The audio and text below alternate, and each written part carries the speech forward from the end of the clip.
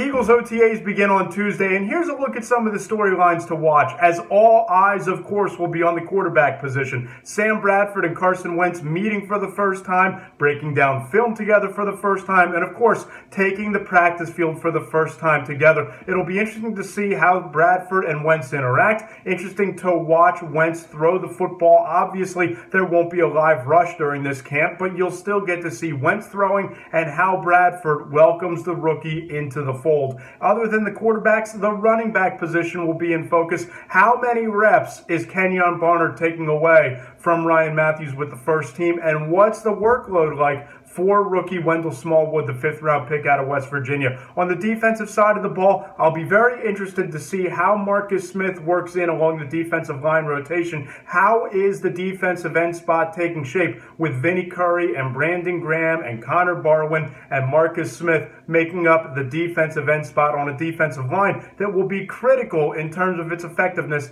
in defensive coordinator Jim Schwartz's wide nine scheme.